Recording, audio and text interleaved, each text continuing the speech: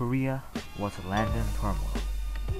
It was occupied by the Japanese Empire in the early 1900s. Due to the bombing of Hiroshima and Nagasaki, Korea was finally free. During this time, Cheong-hee, later founder of Taekwondo, was forced to serve in the Japanese military. Communism, however, spread, and North Korea, led by Kim Jong-il, started the Korean War.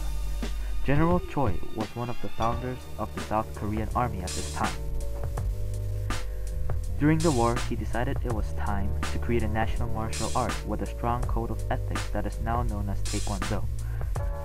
This art was scientifically developed using the principles and the law of motions.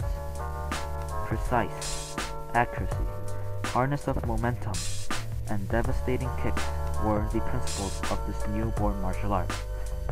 After sent to exile elsewhere due to a conflict with the president, General Choi spread this art all over the world. Its main influence was in the United States. Currently, over 80 million people practice this art with 4 million black belt holders. It is also included as one of the Olympic sports.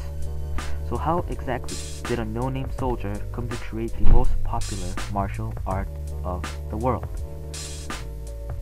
If you want to find out, you should read his memoir, named Memoirs of General Choi Hong-hi, in volumes 1 and 2, Motherland, The Land in Turmoil, and volume 2, Every Place Under Heaven is a Dojo.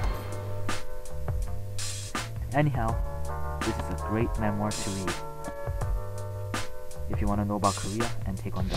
Take my word for it. Take my word for it. Take my word for it. Take my word for it.